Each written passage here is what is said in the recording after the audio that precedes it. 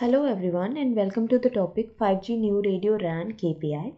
In this we are going to discuss about 5G new radio radio access network key performance indicator. KPI the service experienced by end users is measured by using several performance indicators and these are generated to form a key performance indicator. KPIs are accessibility, retainability, integrity, mobility, utilization, and energy efficiency. So these are the five KPIs.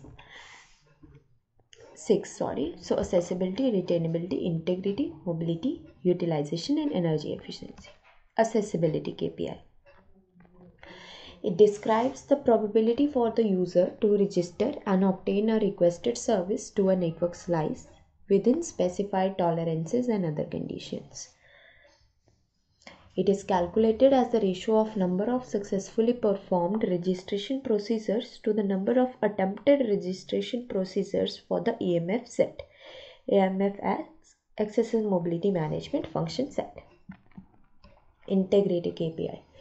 This integrity is the property that data have not been altered in an unauthorized manner and service integrity is the degree to which the service is provided without excessive impairments.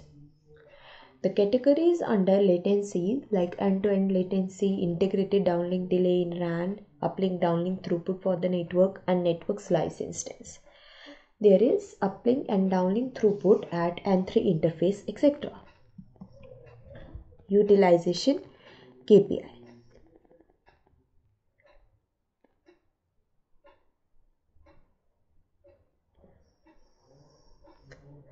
It refers to simultaneous usage of network resources without altering or affecting the end user experience.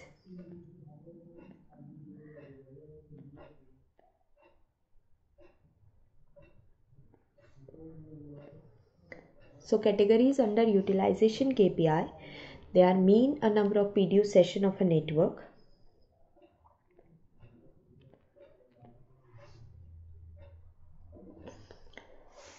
and network slice instance.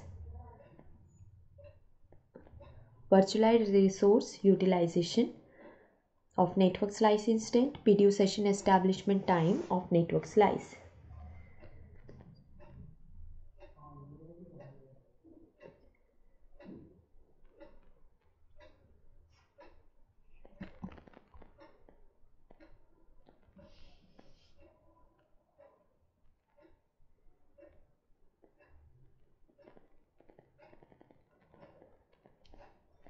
Retainability KPI.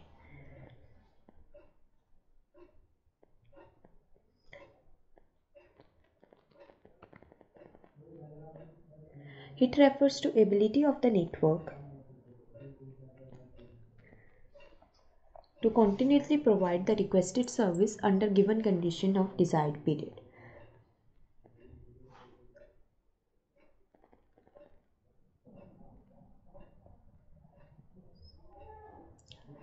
Two types of retainability KPIs. They are qual- uh, like uh, quality of service flow for retainability and data radio bearer for retainability. Mobility KPI.